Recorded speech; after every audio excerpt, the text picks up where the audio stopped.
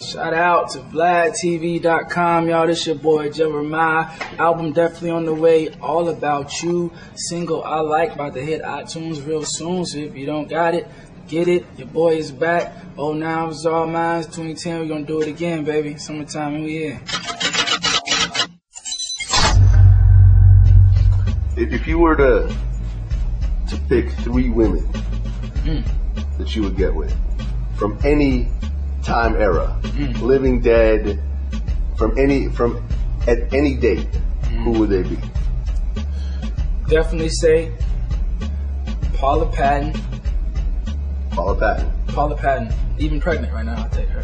Um, Why Paula Patton? she's she's cold. What you mean? Why? She dope. Like she can act. She's gorgeous.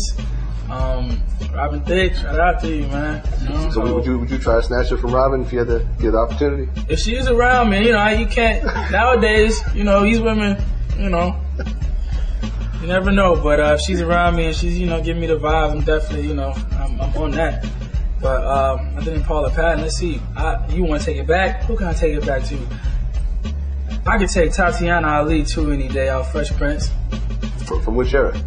From, the Fresh Prince era? From the Fresh Prince. You know what? She still kind of look the same now though. So I, I take her. She she's. I take her now. Then I take her both. Both. You know. I, I think she's dope too. Well, why why what is it about Tatiana Ali? Just the skin. You know. I'm a sucker for you know light skin, long hair. Not no discrimination to all everybody else, but I love. I'm a sucker for that. I'm just. Uh, I saw her just growing. I feel like I grew up with her. You know. So just watching her on Fresh Prince, and even if I saw her now, I probably would be like, yeah, in, in love. So uh, her. So I say Paula Patton, Tatiana Ali, who would be my third and final.